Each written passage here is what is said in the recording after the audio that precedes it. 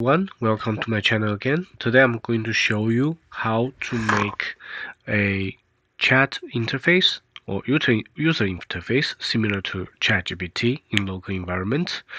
Uh, basically it requires you to download and install Ollama and open web ui and docker. So basically with all these components with Ollama, you can host your large language model in local environment. Basically, you can directly interact with the large language model via the uh, CMD interface, uh, local command interface. However, if you want to go uh, more advanced, you can link it with a user interface or interact with your Python code, Python environment. Okay, so uh, Ollama the downloading and installing is very intuitive. This is the first step. Then you should install the Docker application. For me, uh, I'm not an expert of Docker, but it seems like it runs the local server and provides you with a link where you can access the large, large language model. And the last thing, last thing is that you need to open to install the Open Web UI. Uh, the document is very clear. How you start with Docker. Basically, after you uh, install the Docker, you should run the first uh, installation instruction in your command uh, interface. So uh, just copy this one and go to your prompt um, CMD interface is like this one uh, you can type CMD in the search button and you can go in here and just um, run this code, run this line of code, and it should uh, install an image uh, in Docker and make sure you can run it. So basically, after all these steps in the Docker interface, you are going to see this one is an active container and with a port. Okay, you can open here and you are going to be diverted to the interface. Before you chat, you need to choose a model uh, and uh, you can start chatting. For me, I already started the uh, already downloaded the models uh, from Ollama interface, so I have several in place. Uh, the others I don't recommend you because after the testing, I don't think they are good.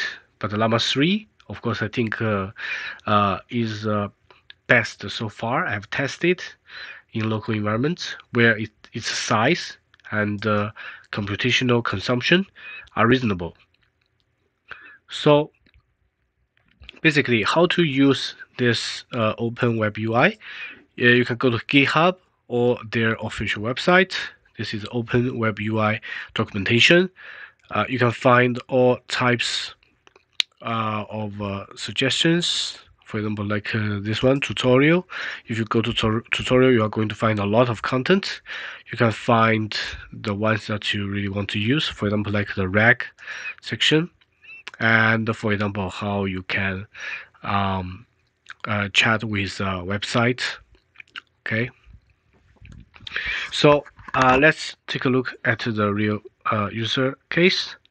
So basically I take the information or the idea from my previous project where I ask the large language model to generate uh, the GDPR um, risk mitigation suggestion report.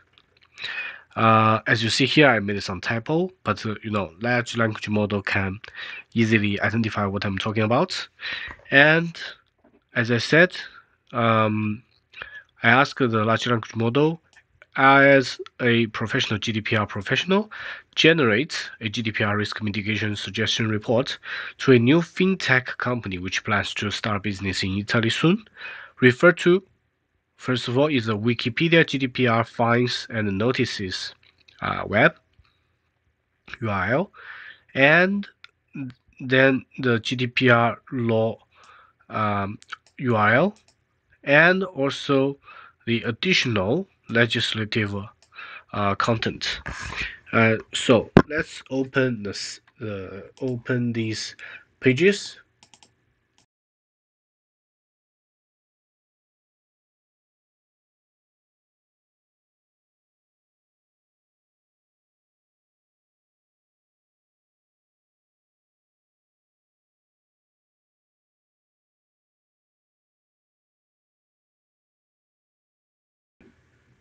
as you can see uh, we have everything ready.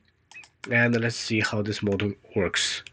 So basically this report is well structured. I'm not going to the details with you uh, but from my understanding, because I also worked on the GDPR compliance uh, framework design of a company, so I think uh, the general the general content is uh, uh, useful and insightful.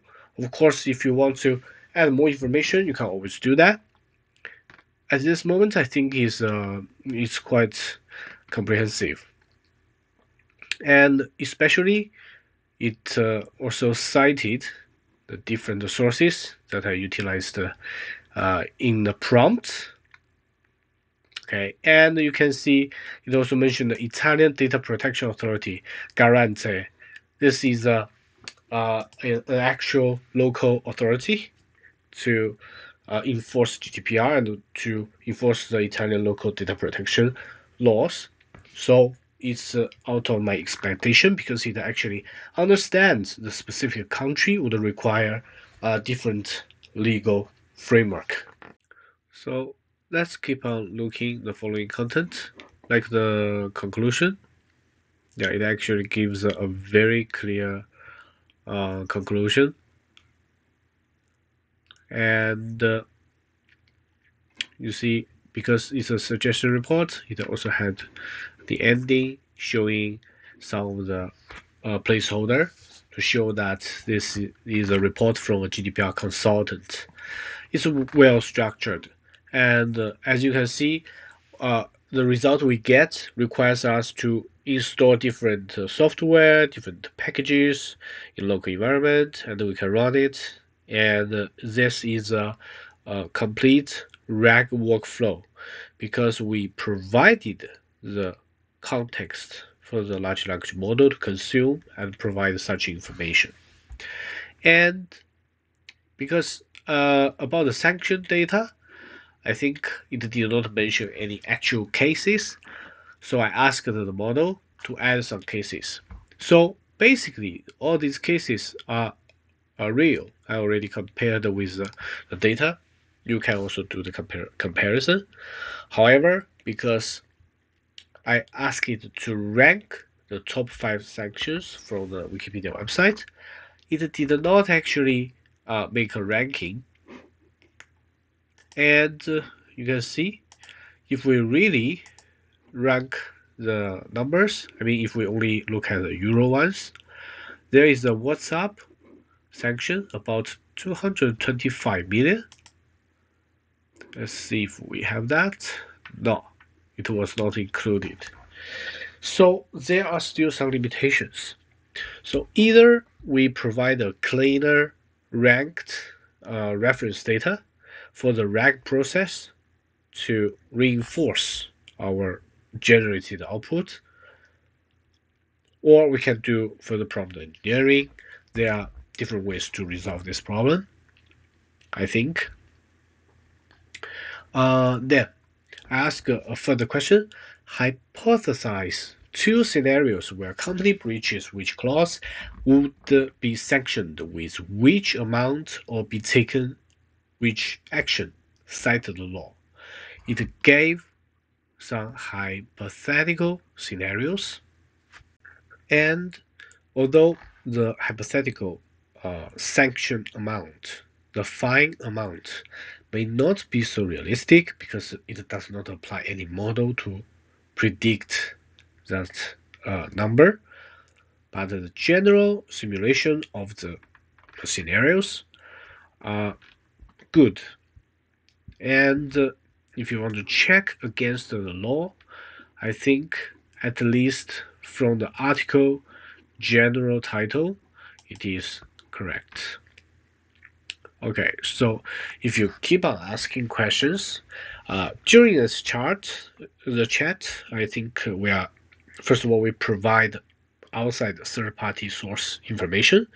Then during this chat, it actually does a second round of the RAG uh, output generation, so we can ha can have more comprehensive outputs. Uh, then I ask it to consolidate the report. Of course, the general uh, starting points remain the same, suggestions the same, and the top five sanctions listed, and the scenarios. Uh, they kind of the model kind of reduced the context, the token size of this part, but it is uh, still uh, acceptable if uh, your expected report size is like this. And we have also a conclusion. Yeah, you see, conduct regular data mapping exercise, implement robust consent management procedure, develop comprehensive data protection policy, provide training to employees on GDPR requirements, and best, best practices for handling personal data.